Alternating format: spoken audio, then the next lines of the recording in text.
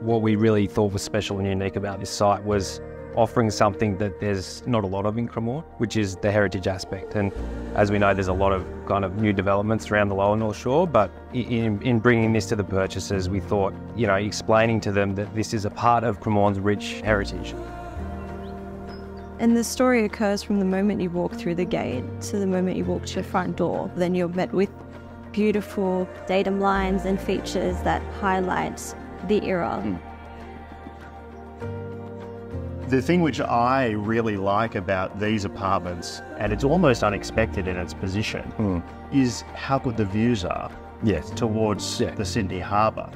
That's a huge part of the excitement of this project is that quiet outlook, but also the views that are that are unmatched really in that location.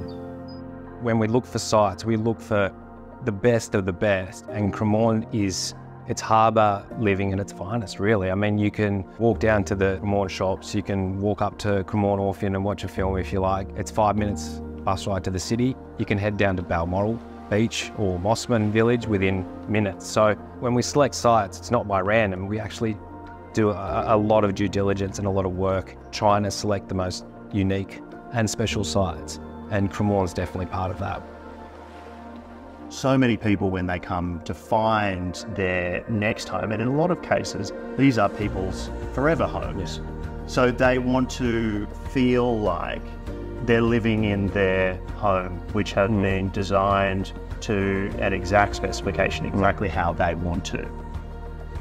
I guess in a way the purchaser is used to a specific standard. So people are looking for that, you know, understated luxury, so to speak, where they can live here for 20, 30 years and it will still age gracefully.